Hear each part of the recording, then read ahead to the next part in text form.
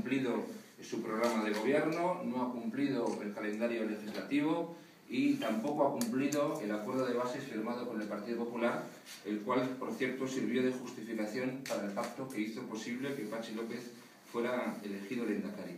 Su gestión diaria, además, está siendo absolutamente desastrosa. Le falta eh, liderazgo, tanto al Gobierno como al Endacari, y la conclusión nuestra, eh, desde hace ya, por cierto, eh, unos cuantos meses, incluso un par de años, nosotros consideramos que este Gobierno ha sido un verdadero fraude, para el cambio político, porque no se ha enfrentado argumentalmente al, nacionalismo vasco y eh, pensamos que eh, tanto el Partido Popular como el Partido Socialista de Euskadi se han cargado en estos tres años el constitucionalismo eh, en Euskadi. Este es el balance que hacemos del gobierno, un gobierno por tanto acomplejado, con miedos, que no ha cumplido la palabra dada y que no ha impulsado los cambios que Euskadi necesitaba. Y por lo tanto nuestro balance es ciertamente negativo y la realidad de estos tres años han sido escandalosas. ¿eh? Eh, ha sido y es, por tanto, el Partido Popular corresponsable de este fraude. Por mucho que ahora parece que quieran presentarse ellos como alternativa, lo cierto es que ellos han puesto eh, en bandeja a este gobierno que al final se haya convertido en un auténtico fraude para los que creemos en el constitucionalismo.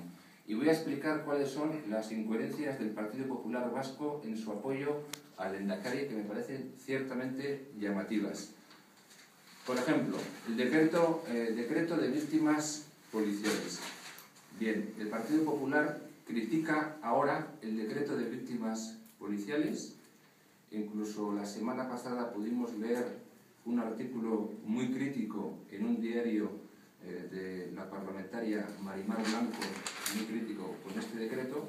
Sin embargo, hay que recordar, por si alguno se le ha olvidado, que hace un año el Partido Popular apoyó, con el resto de grupos presentes en la Cámara, cinco de los seis puntos de la propuesta original, que fueron eh, lo que hicieron posible después que efectivamente se aprobara este decreto. Esa fue la realidad, que el Partido Popular hace un año concretamente el 8 de marzo de 2011, apoyó, votó a favor de indemnizar a estas eh, otras víctimas, tal como se les llama. Y eh, respecto a la puesta en marcha de la ponencia de las víctimas policiales, también sería conveniente eh, recordar que el PP renunció a estar presente en ella unas pocas horas después de que UPyD anunciara que no iba a estar en ella. ¿eh? con lo cual miméticamente optó por no estar presente cuando vio que UPyD había decidido no estar.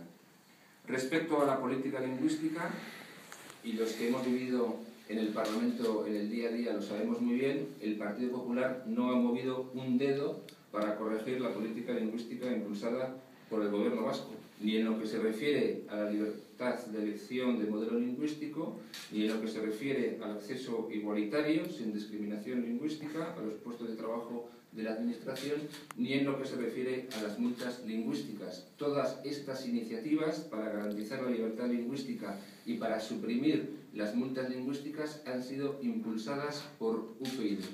¿eh? Y el Partido Popular, que tres años después del cambio de gobierno, el gobierno vasco, con el apoyo del Partido Socialista y con el apoyo del Partido Popular, siguen financiando a las icastolas francesas. Eso que tanto criticaron durante tanto tiempo ellos, pues resulta que siguen haciéndolo. 450.000 euros anuales de los ciudadanos vascos que van destinados a las icastolas francesas. Por cierto, no para financiar el impulso del euskera, sino para financiar, sorprendentemente, la educación reglada en Francia. Esa es la realidad. 450.000 euros anuales. Con lo cual, una de las reivindicaciones que tantas veces les habíamos escuchado a unos y a otros, resulta que tampoco eh, las han, la, han cumplido. Más cosas. Las famosas embajadas eh, vascas. Pues ahí siguen, ahí siguen tres años después del cambio de gobierno. Por cierto, hemos presentado nosotros una iniciativa sobre la materia que se discutirá en breve para instar al gobierno vasco a que elabore un plan para el cierre progresivo de estas embajadas. Pues bien, el Partido Popular en estos tres años no ha dicho ni mu sobre la materia y eso que era una de las reivindicaciones históricas del Partido Popular.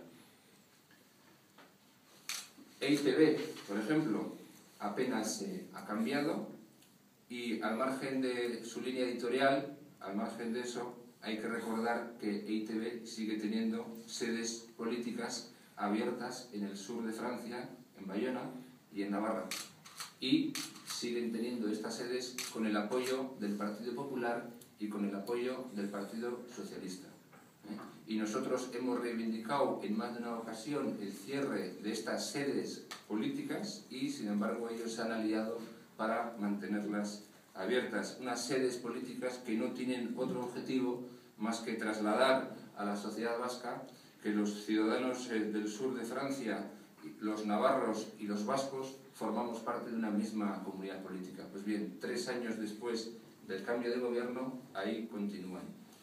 Respecto a la maraña de empresas públicas y semipúblicas de la que tanto se quejaban eh, tanto el Partido Popular como el Partido Socialista, tampoco eh, se ha hecho prácticamente nada en este asunto y a pesar de que nosotros hemos presentado varias iniciativas en el Parlamento para proponer su reducción drástica, siempre ha pactado el Partido Socialista y el Partido Popular para que tal reducción no fuera tan, tan drástica, sino mucho menor. Tres años después del cambio de gobierno continuamos con el mismo problema. Además, el Partido Popular Vasco apenas ha dicho nada cuando Eguiguren o el propio López eh, han desbarrado defendiendo la legalización de Bildu antes de que se posicionara el Tribunal Constitucional, defendiendo la escarcelación de Otegui o proponiendo, en el caso de Eguiguren, nada menos que una Euskal Herria con entidad eh, jurídica. Lo que han hecho ha sido silencio o apenas hablar en voz baja, pero eh, no han podido, no han querido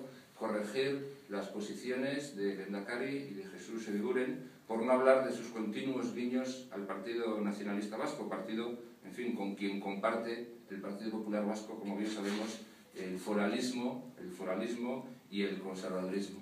¿eh? Por todo esto, seguimos diciendo que somos la única alternativa constitucionalista de Euskadi. Lo decimos con toda humildad, pero con toda contundencia. Viendo hacia dónde se dirige tanto el Partido Popular como el Partido Socialista de Euskadi, nosotros concluimos que somos la única alternativa constitucionalista en Euskadi. Ni unos ni otros han cumplido casi nada de lo que prometieron.